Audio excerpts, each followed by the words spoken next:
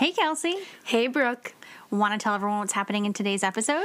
Today, we're going to talk about my education and how Oh. that kept me from teaching women's history. And then we're going to talk about nuns. I love nuns. Me too. I'm not sure why, but they're just very nice people. Hello, and welcome to Remedial Herstory, The Other 50%, the podcast that explores what happened to the women in history class. Now, here's your host, Kelsie Brooke Eckert, and her partner in crime, Brooke Neva Sullivan. Episode 16 My Education and Nuns. To be clear, the title makes it sound like I was educated by nuns, and I was not. I went to public school. Oh, good to know. Yeah. I did as well. So, So there you we're have not it. up on our nuns. Yeah. Some people joke about nuns. I guess they're like pretty harsh educators. Oh, really? Yeah, I don't know anything about it. I should have gone and done a little more research on that. Yeah, I guess I'm not really familiar either. To our listeners, if you were raised in a Catholic school, we'd love to know more. yeah. We're going to talk today, though, about my education as a history teacher because I think that this is really informative in why women are left out of history class. Okay. Um, so, my education, probably very similar to yours. Yeah. So, where did you go? Went to public school here in New Hampshire, and you went to public school. I did as well in Connecticut. I took the, all the normal things that most people take, right? Like government, economics. We did a stock market project. That was Yep. cool. Yep. Um, Sounds U.S. familiar. history, right? I think there was a world history in there.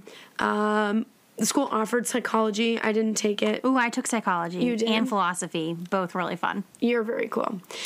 Um, in that entire education, I don't recall, and granted, I teach high schoolers. I know how terrible they are at recalling things that I know that I've taught them. Yeah, but you also live in that headspace every day where you're more you're very close to the topics that you would have interacted with. Yeah. You know, like I think about other teachers, and, and even when I thought about going into education myself, I could re- start recalling memories that I hadn't really thought about because I was in a school building. I was in a situation that was similar to what I was in in high school. Whereas now that I'm not in that environment anymore, I, it would be really hard to recall memory. Yeah. I don't remember learning any women's history, and not even topics that, like, you should teach, like the 19th Amendment. Like none. You didn't do like Salem witch trials. Don't have any memory of it. Interesting. Or like any of the women's right movement. No, but I do remember the Battle of Lexington and Concord being sketched on the chalkboard. Like that's how deep my my teacher, my high school teacher, understood this battle. So then I go off to college. I decide, um, based on a um, political science class that I took, that I wanted to be a political science major, and I thought Okay. that's really cool.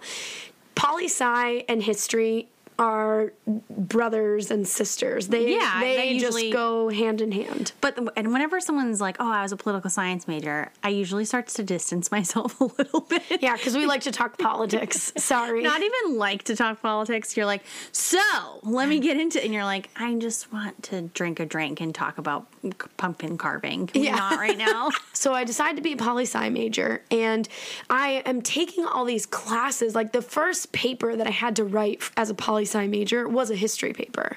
Um, Oh, interesting. This was, I mean, I talk about this with my students. My first college paper that I had to write was a 15 page paper, and the Ugh. assignment was pick a president, pick a policy, and like talk about the history of that policy that that president Who passed. did you pick? So I picked uh, Jimmy Carter, and I picked him because I'd never heard of him in my history class. history ended. never heard of Jimmy Carter. History ended at World War II, Whoa. right in high school. So I feel like I had a teacher that was kind of obsessed with Jimmy Carter, so maybe I So they, like, went- about went big who he was. Him Yep. and Nixon. I felt like we lived in the Nixon era for like a long time. Okay, but this is my first Okay. college class, and I also wanted to be a history minor. Um, and I got a minor in Asian studies and a minor in theater. Oh, By excuse me. I know, nerd alert. Well, theater, you know. Ah, yes, the theater. I knew you were a great thespian. yes. So um, those things combined, I actually took a ton of history classes, but I was one class shy of a history minor. So I oh, don't Jesus. actually have that on my transcript if you look it up. I mean, go back. I don't think you can look it up. But I took a lot of history classes, and those classes, I think, are case in point why, when I became an educator, I had no idea about women's history. The first thing that I will say to this is every professor in the history department was male. The poli sci department was made up of three people, one of them was female. In high school, college, and grad school, every single time I had the opportunity to research a woman, I took that opportunity. So I am not alone, I think, in doing that. I think people tend to choose research topics that are similar to, uh, to people that are similar to them, or topics that are interesting or important to them or relatable for them. And so when you look at my professors, um, it is not surprising that they don't teach women's history because so few of them are women. I was a theater minor and I had to take a course called the History of Theater in order to get my minor. And that class was actually taught by one of the theater, um, female theater department professors. And that one got me dual credit for history and, and theater. Um, so that was the only class that I took in my undergrad that was taught by a woman. My college did offer courses in women's studies, and I actually remember sitting in on one of the women's studies courses during the weekend that I came to visit my college. Um, but it's interesting because I didn't, I was not required um, to take a women's history course in order to be, you know, a, a history minor or um, it was not a requirement for poli sci. Like you didn't have to study women in politics. You didn't have to study, you know, how women navigated the political arena. Um, I remember in one of my first poli sci courses, we had to debate whether or not Hillary Clinton could ever be elected president, not based on her politics, but based on her femaleness. And I was the, I mean, this is also another piece of the puzzle. I was the only girl in the poli sci major. And so in that particular class, it was me and 18 boys. So we chose our own sides and it ended up being basically me and this guy james. Shout out to james by the way probably the smartest person i know. Uh, not because he sided with me on this particular point but um, he's really just the smartest person i know. But anyway james and i have to take on like the other 17 kids in class basing our entire argument over whether someone with a vagina can be president. It was the weirdest debate. Of course, all of this is happening, I think, prior to her even being senator of New York, prior to her being secretary of state. So, really, the only thing that we knew about Hillary Clinton was her time as first lady. And so, the only thing that was substantive in this debate was the question of, you know, her femaleness, but particularly like, should someone with no military experience be the commander in chief? And I think that's a compelling question. But I, I don't know why we targeted a woman to discuss that compelling question because there have been many presidents who did not have military experience. Some of those presidents with no mer- military experience led us to war. So, um, so of course, James and I were very quick to bring that up. It's also the only time that I really recall talking about women in poli sci classes. And that's even, I had a poli sci professor who I took multiple courses with.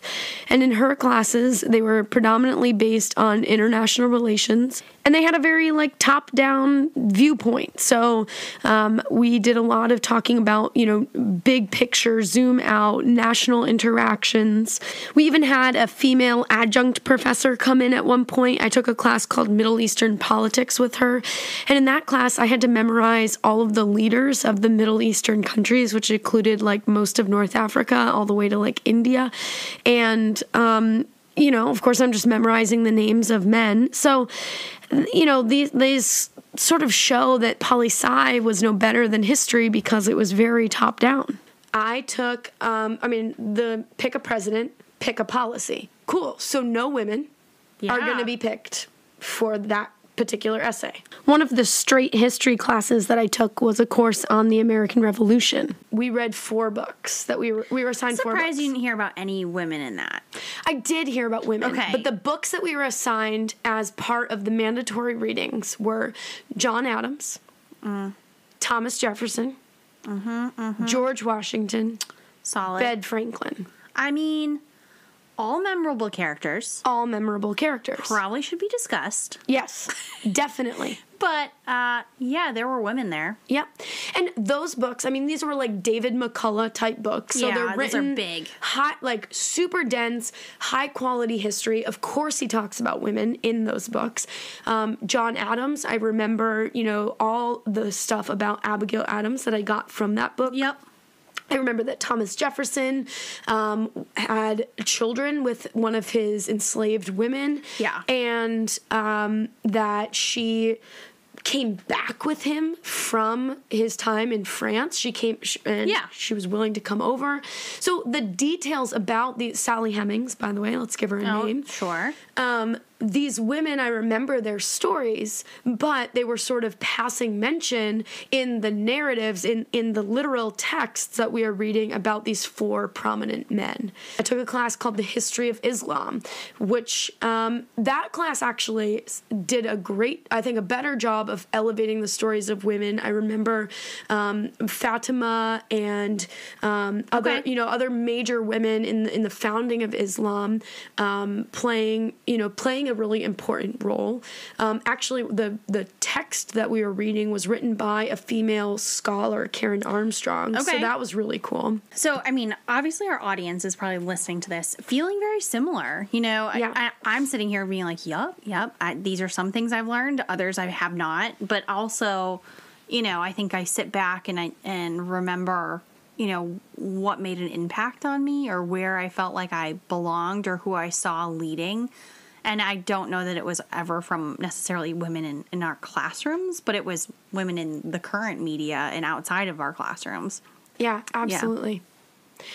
So the point here is I'm a person who's about to go on to become an educator and I don't know anything about really no no depth on women in history. I have passing mention in That's- in all that's these a little classes. scary. It's very scary. I think that it is illustrative of how cyclical history education is. I go to grad school, and uh, in grad school, I was required to take a whole bunch of pedagogy classes and um, neuroscience and you know psychology sociology all things about more like the field of education and how Okay. to teach and that type of thing because i was uh, social studies education um, that, that's my master's is in that and I did have to take some um, content related classes. Um, those, you know, social studies is incredibly broad. And so I took a course on economics, I took a course on civil rights history, Sure. the civil rights movement. But all of this should go to show that the teachers basically at the graduate level assumed that I already knew the history Right. and probably to their credit probably do. I know that history the history that i was taught. I know it really well right? I was a Right. great student. You know i had to take exams to become an educator and then you have to pass us history world history government economics like it's content related questions psychology world history and um, i passed a test right? That Yeah. the state gave. It's practice praxis exam. Um, praxis one and praxis two. Passed them both. Got great scores.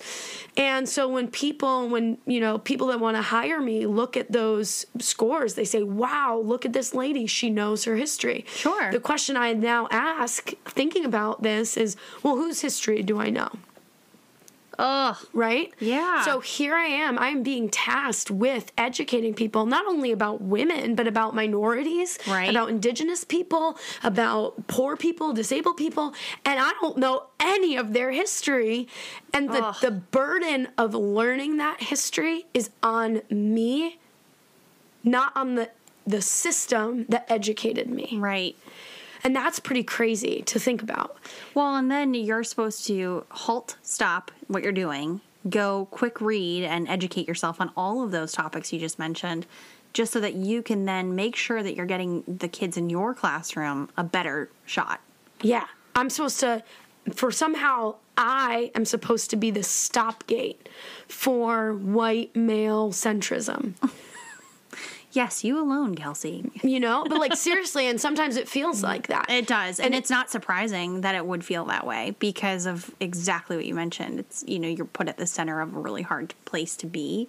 Right. And it would be real easy just to lean back and coast and teach what, you know, kind of is already in front of you versus trying to present some diversity. Right. But I think this just goes to show how hard it is to teach, to get women's history into Yeah. our experience and our collective knowledge. And and so it is really heavily reliant on you to do the work. Yeah.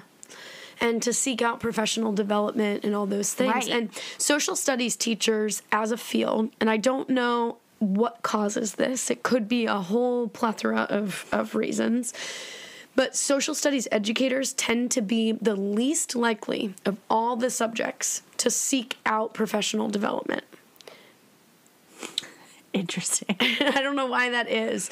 All right, Brooke. So I think I've illustrated how my own education really set me up for failure with teaching women's history in school. Yes. And the pressure that I feel to be They the stopgate. Failed you. Failed you. Right. They have failed me, and I think, and I think to be to be honest, I probably have failed my students. I know I have failed my students. Oh, that's there are things that I taught, you know, my first or second year that they're not wrong. Like I'm not lying to my students, but it's it's white male centric, and I'm well, and my you whole didn't know what you didn't know. Right. Now you know. Yeah. I mean, I could bust into a Biggie Small song right now. I mean, now you know. Yeah. So bring it forward. So you bring it forward. All right. Well, we're gonna take a little break. Okay. And we'll be right back. For lesson plan ideas and how to teach women's history, visit our website www.remedialherstory.com. Follow us on Instagram and Facebook at Remedial Herstory. If you think what we're doing is needed, please consider joining our Patreon community. Patreon allows you to sponsor a podcast with a small donation. Patrons get access to bonus materials, extended episodes, insider information, and gear. Give at whatever level you can. Patrons who give at the $25 tier will receive a Remedial Herstory mug and a booklet of all the Remedial Herstory lesson plans and resources. This episode is sponsored by our patrons. Thank you to Kent and Jamie Heckel from Ohio, Sarah Reardon from New Hampshire, Leah Tanger from Connecticut, and Bridget Erlandson from Connecticut. You guys make this show possible.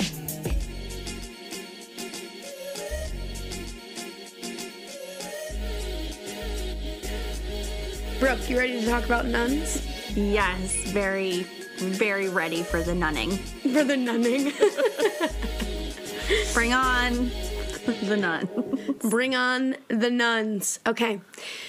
So I picked nuns to go with the with talking about my own education because I think that nuns are a really cool example of women being educated. Um, All right. That's Yeah. an interesting approach. Right. And so it's it's kind of the exception to the rule that women were denied educations outside of the home. And um, it's the one place that women could get an education. Probably the best education was in, in at least in the West, was in a nunnery Yeah. or covenant. okay. So And they get to hang out with all women and protection of the church. Yeah, I mean, it's not a bad gig. it's a pretty good gig. Yeah. I mean, I don't know about the hats, but By the 1300s, Philip of Navarre argued one should not teach a woman letters or writing unless she is a nun, because a woman's reading and writing leads to great evil. who's that dope? Yeah, he was a ruler, a king. We'll let him have it. Might be, might be. but I think it shows the this was that was in 1300, so it sort of shows what was very common. Um, this perception that women's education is right knowledge tree of evil. This is not a good idea for Okay. women to do that, um, and yet he makes this big exception, except in the nunnery, right? Like, thank you for making an exception. Yeah. So inside covenants and, and nunneries, and I learned recently the difference. Oh, there's a difference?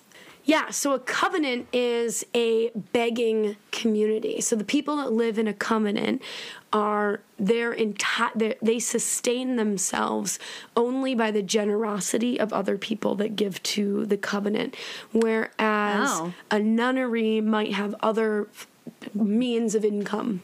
Okay. Um, so yeah, like that, which I thought that was an interesting distinction. Didn't know the difference. and are they, I mean, maybe we'll get into this, but does every religion have a, or is it mostly the Catholic Church?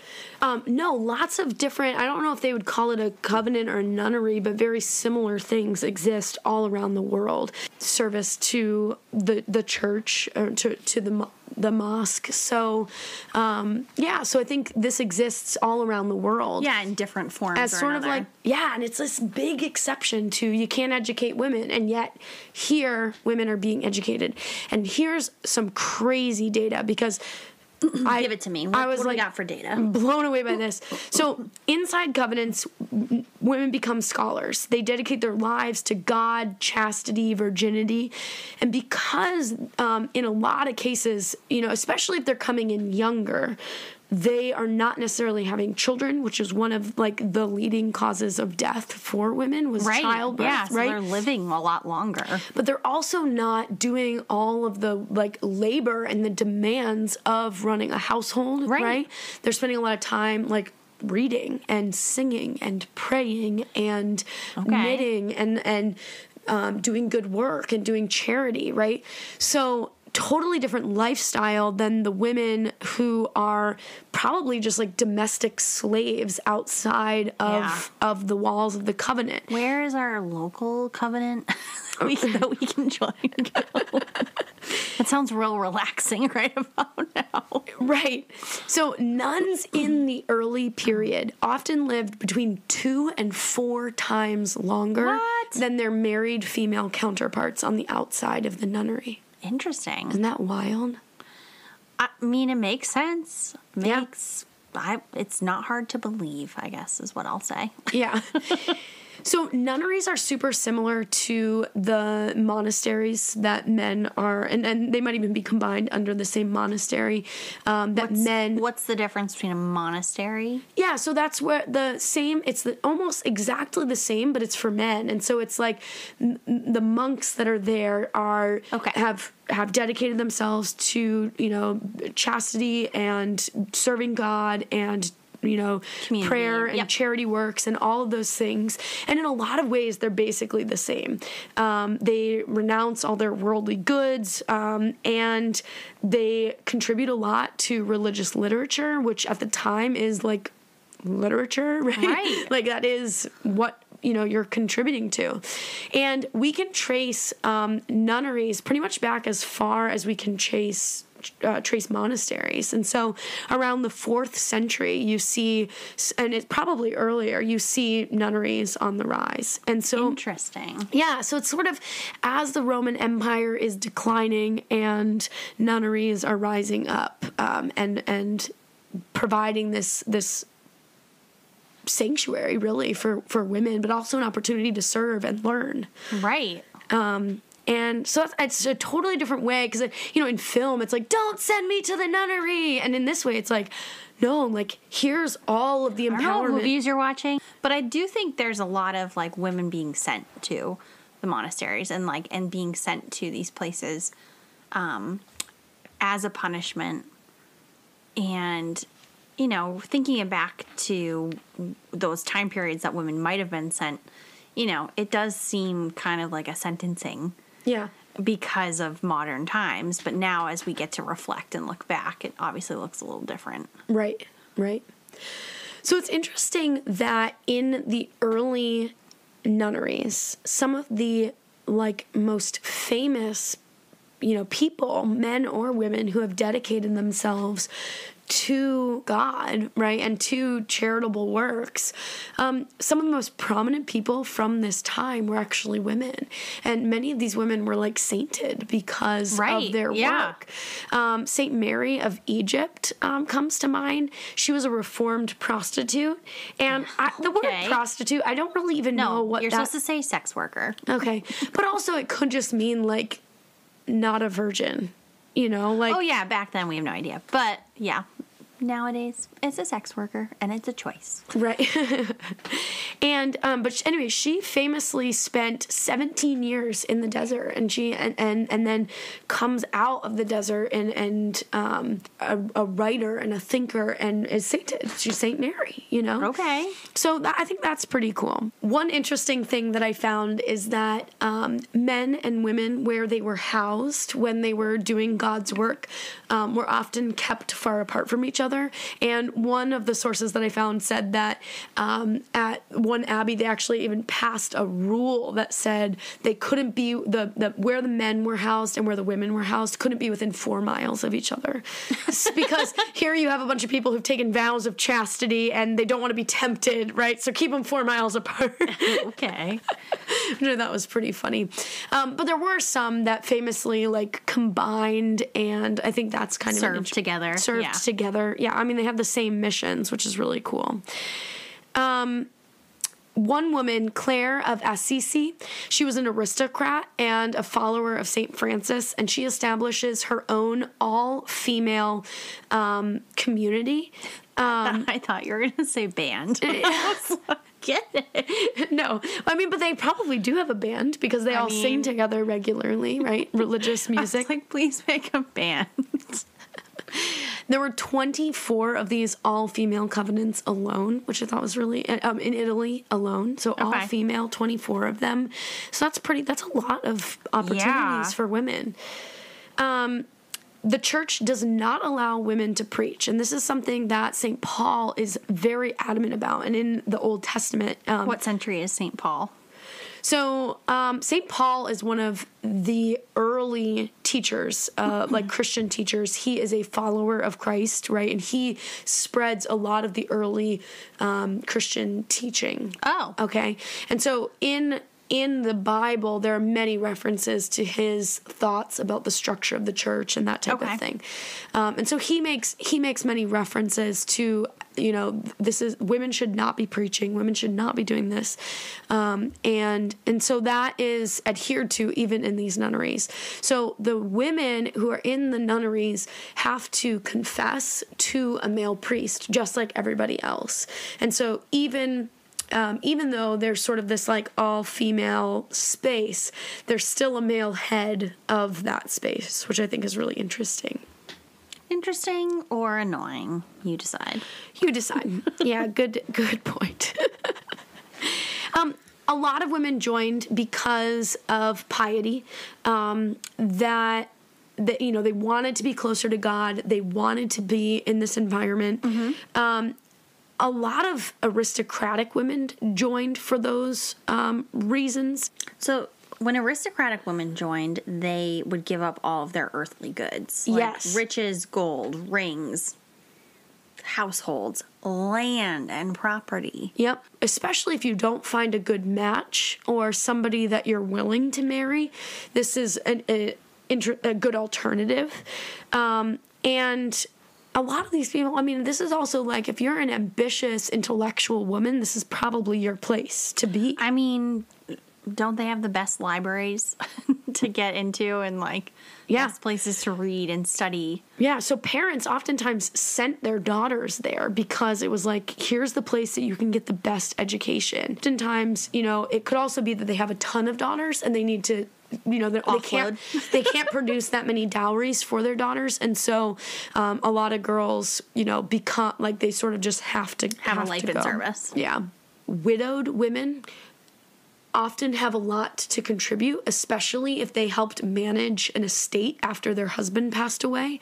Okay. And so those women have incredible expertise, and they often found themselves to be sort of the mother abbess of the nunnery because and of Mother their, Abbess is the head. the head, Head la- bitch in head yeah Uh, but she has that experience because you know because her spouse passed away. So she has something that a lot of the women living inside the nunnery didn't didn't get. Yeah, and have not seen or interacted with, so she can keep the place afloat. Essentially, Yeah, totally. It doesn't appear that there's really any belief uh, or any distinction between, you know, the accomplishments of the women and accomplishments of the men. are they even allowed to put their names on things Yeah, that they so do? women, I mean, like I said, some of them are the most prominent writers and thinkers, especially in the early monasteries. And so um, I thought that was that was really powerful. They wrote um, d- small devotional books, um, compendiums of prayers, guides for religious contemplation, treaties on the meaning and relevance of visions experienced by some nuns. Right, like Interesting. So they're writing about religious experience, um, and I thought th- like that's pretty. I profound. love how they're writing about it from the inside and they're not being crucified as witches or other. Yeah, It's like, totally. oh, because you're close to God and you've given up your life for Him. Uh, you're allowed to write and read and do all of these things and make an impact on the world. But if you come outside those doors, and it will burn you at the stake. And it was kind of this weird exception because they've taken this vow that people on the outside are not willing to take, right? This vow to serve God, to give up all worldly things, to wear the simplest clothes, right? Yeah. And um and yeah, so it almost gives them this superpower because you can't argue They with are, God. yeah. Well, and even I mean, it's a mission and a cause, and they're taking up the charge to do that, and it's dedicating your life to service. women in the in the nunneries often did a lot more charitable work than the the men did in the monasteries. That's so surprising, Kelsie. that's just like That's a, a nice eye roll. That's so bizarre. I would never have imagined that. Yeah. I mean, a lot of the things they did was like giving out food, giving out clothing to the needy, Caring for others, caring for Oh. other people, looking after the sick. They were tutors to children, you know, those types Yeah. of things. And um, they provided hospice service for the dying. A lot of the jobs that women today do, right? Tradi- Right. Kind of traditional women's work. Um, so and this is the other really interesting thing is that because they wanted to be where the people were nuns were almost more visible than monks were because they needed to be where people were right? And so they were often near cities whereas monks were sometimes outside um, you know Yeah. with, their, with their big libraries. Nuns who forgot the patriarchal power structure were definitely punished. Um, there was one nun who tried to build a school to educate young girls who hadn't com- committed to the covenant. Okay. And um, she was imprisoned in a windowless cell. Oh, Um, why? two other women, um, two other nuns began preaching in the streets, which we learned already is It's a no-no. That's a no no. You don't preach. Um, and so when a bystander asked them who their husband was, the women replied, they had no husband but Jesus Christ. and the mayor dubbed them whores and instructed the constable to whip them in public square until blood ran down their backs. Oh my. So Oh, that's pretty aggressive. I mean, they're just trying to spread the good word. They're just trying to, yeah, exactly. Right. I mean, here they are. And it, I mean, it reminds me of some women that we'll see later in history who try to preach, um, like Anne Hutchinson in um, early colonial America. Um, so, yeah, I mean, there's this definite, like, this is not yours. Not your space. Yeah, this is not what you do. Stay out of my lane. One of the most prominent nuns is a woman named Hildegard of Bingen. She's basically like German, for lack of uh, formalized, yeah, Germany. um, For lack of Germany, she's she's in She's- that part of the world. yeah. um, she's a Christian mystic, and I'm sorry, what? a, a mystic is just like a very like spiritual thinker okay so she's really interesting um, she refuses to be defined by the patriarchy uh, and she's actually able to bypass it just by being a feisty lady um, How so, Kelsie? Well, Do tell. so What's up with Miss Hildy? So she is, um, she really believes that one of the biggest things that she challenges is this idea that um, Earth is sort of our consequence for original sin. And she looks at the earth and she sees how beautiful it is. And she sees divinity in everything and, and the greenness and the richness of the earth. Okay. So all of her writings are really challenging this idea that it's sort of like a punishment to be here, that we're in some sort of like Purgatory. Yeah. And um, so she contributes a lot to idea like biology and the and sort of like because remember church state you know Yeah. scientific revolution hasn't really occurred yet so so a lot of her ideas are really about nature and sort of the interconnectedness of everything she believes in um, divine wisdom and she believes in a specifically eminent female divine wisdom Oh, how dare she? yeah. Um, but people like her works, and so it's being widely read and um, Like underground read or like like passed read, out in public? read, Okay. like passed out in public. Yeah, and I think part of that is the prestige that comes from her service and right. devoutness. Yeah. Okay. Um, so again, it's like this big exception. So she's popular in the German circles or lack of Germany. Yeah.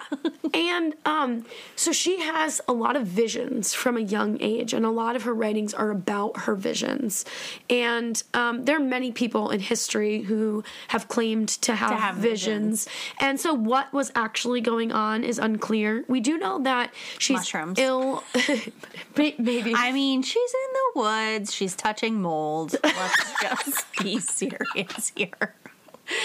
I think more likely um, she's ill a lot as a kid. Ow. And at some point later in life, she's bedridden for a portion. People think that it's Satan punishing her or God punishing her for being a little too forward with her feminist thinking. AKA Scarlet Fever. Yeah, it could have been a lot of things. Could have been seizures. Could have been, you know, I don't, know. Yeah. I'm speculating here. I'm not a doctor, but You're not. Um, I'm not. Fun fact. so, um, but she has visions and she writes about a lot of her visions and um, so she's considered incredibly wise people from all over come to, to seek out her counsel Oh, um, so right. yeah and, and and even men actually um, and she you know low key preaches to men um, in closed settings which you know paul said don't do Don't that do it. Paul Yeah. said that. Paul. yeah. she was selected within her nunnery to um, be the abbess, to be the leader. And so she's in a position of power, which I think is also really interesting. Um, she eventually wants to create a new nunnery for women. And she asks the head priest if he would. Well, there's your first problem. You don't ask. right. step one, no. step two, skip to step two. In 1147, she asks to leave her covenant and go 63 miles away, and um, the abbot is um, not okay with that. He doesn't want her to like so surprising. be out of his authority and Yeah. sight. So um, he wants her to take a different position. And I think a piece of this, though, is she also brings in a lot of money because Yeah. she's such, she's so well respected within the community. And so people make donations after they've come to hear her. And so I think there's also this sort of like economic reason that he doesn't want her to Yeah, go. like don't can't lose the moneymaker. Right. She requests again. He says no. And so she goes around him and she asks the archbishop.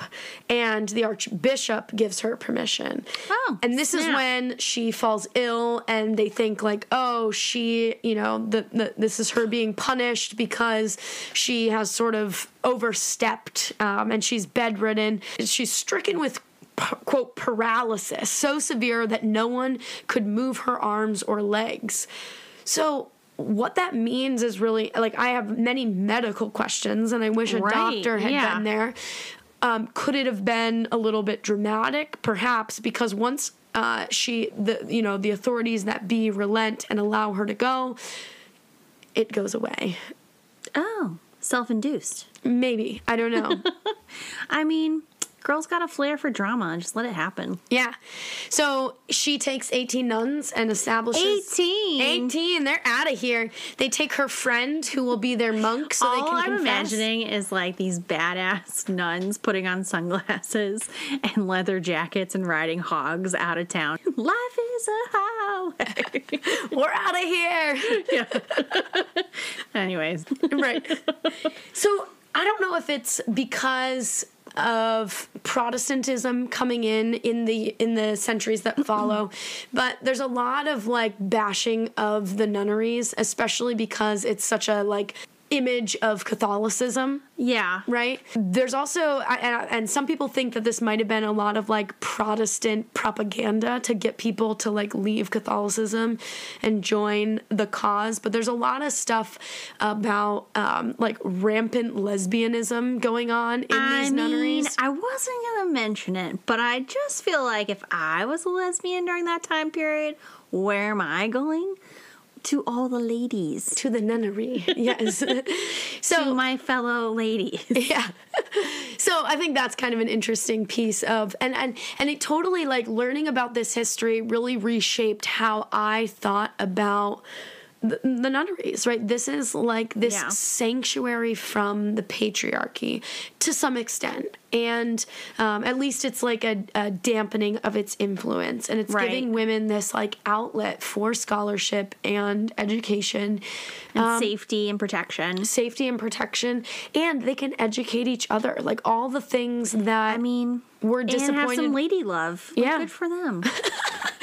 but all the things we're disappointed we didn't learn about in you know in our educations these women can teach each other right, It's, it's a women woman driven education. So i'm going to have a lesson plan related to the nunneries and um, i think it's a cool thing to look at the impact of some of these people. I would love to sort of do a compare contrast of Oh, yeah. protestant you know co- like conceptions of the nunneries versus you know what these women had to say about the nunneries or at least historians have to say about the nunneries Right. themselves so i'm going to have some an inquiry for people to dig into about you know how helpful were these nunneries and were they really you know um, this this sanctuary for women um, or were they a distraction from divinity and a, a lesbian Cult. cult I mean, that's cool too. I love this though. So people can get this on the website. they'll be able to get it on the website Awesome. Thanks, Kelsie. thank you brooke I'm Brooke Sullivan. i'm kelsie eckert See you next time. see you next time Thanks so much for listening to Remedial Herstory, the other 50%.